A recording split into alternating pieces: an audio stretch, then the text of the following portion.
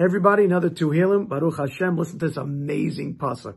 I'm so happy I, I put myself into doing this because you learned so many more incredible things. Listen to this. So we're up to pasuk vav in kuf lamed. Nafshi ladonai mishomerim laboker shomerim laboker. We say that my soul, nafshi, learns ladoshem for my Lord. Among those who yearn for the dawn, those yearning for the dawn. Why do we say that twice? That my nefesh. So let's really break this down. The last pasuk said that my nefesh was kiviti. It was so confident that hoping that you'd come, and we explained how the nefesh, which believes in olam haba, it believes that Hashem is going to come and save us. And because we have that belief, and so Rashi over here tells us the Radak also says mishomrim laboker means that we're amongst those who are yearning, who are yearning to see the dawn.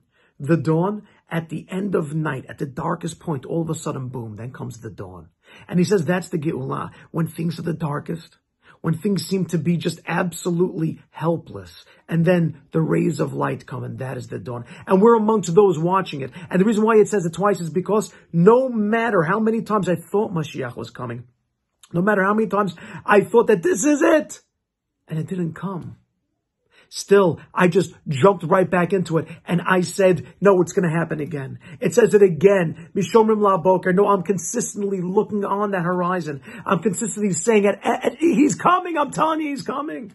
And then he brings this beautiful piece over here. The Radak says, this is why people pray netz. This is why people pray right before the sun comes up. Meaning as the sun's coming up, they get up to start to pray beforehand and they're literally trying to live this drama and show it to God and say that we're doing a tefillah as the sun comes up because this is what we want to live to see. We want to see Shomerim La Boker. We are watching and we want to see that Boker, the final Boker come up. And so they get up to pray early in the morning to show Hashem this is what we want to experience in our life. And then it goes deeper. Mishomrim La Boker. There are those who learn, Ibn Ezra learns that it means even more than those watching the sun, meaning that the rest of the world knows the sun is coming up tomorrow. The rest of the world, of course, the sun's coming up, but to us, even more factual than the sun coming up tomorrow is the fact that the ultimate Geula is coming because Hashem told me so. And so therefore, even more than those that expect the sun to come up tomorrow, Mishomrim La Boker, Shomrim La Boker. Even from those who expect the sun to come up tomorrow,